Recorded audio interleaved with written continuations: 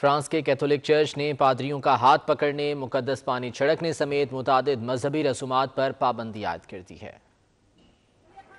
Easter کی تیاریاں بھی دنیا بھر میں کرونا وائرس سے متاثر ہو رہی ہیں، لیکن لوگوں کی چرچ آمد بڑھنے کی وجہ سے پیرس کے آرٹ بشپ نے مذہبی رسومات میں تبدیلی کا اعلان کیا ہے۔ ان کا کہنا ہے کہ چرچ کسی صورت نہیں چاہتا کہ ایک مذہبی مقام کرونا وائرس پھیلانے کی وجہ بنے۔ نئی تبدیلیوں کی وجہ سے اب کوئی بھی چرچ آنے والا پادری کا ہاتھ پکڑ یا چوم نہیں سکتا، جبکہ مقدس پانی چھڑکنے کا سلسلہ بھی بند کرنے کا حکم دیا گیا۔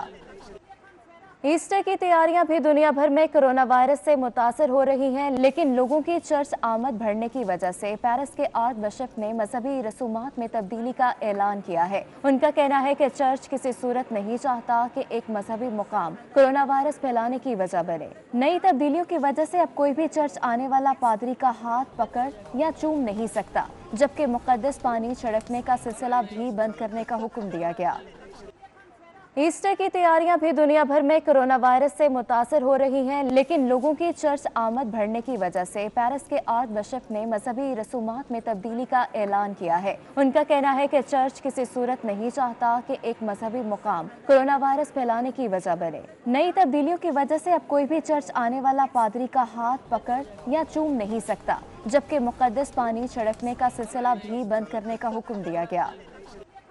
ایسٹر کی تیاریاں بھی دنیا بھر میں کرونا وائرس سے متاثر ہو رہی ہیں، لیکن لوگوں کی چرچ آمد بڑھنے کی وجہ سے پیرس کے آرٹ بشپ نے مذہبی رسومات میں تبدیلی کا اعلان کیا ہے۔ ان کا کہنا ہے کہ چرچ کسی صورت نہیں چاہتا کہ ایک مذہبی مقام کرونا وائرس پھیلانے کی وجہ بنے۔ نئی تبدیلیوں کی وجہ سے اب کوئی بھی چرچ آنے والا پادری کا ہاتھ پکڑ یا چوم نہیں سکتا، جبکہ مقدس پانی چھڑکنے کا سلسلہ بھی بند کرنے کا حکم دیا گیا۔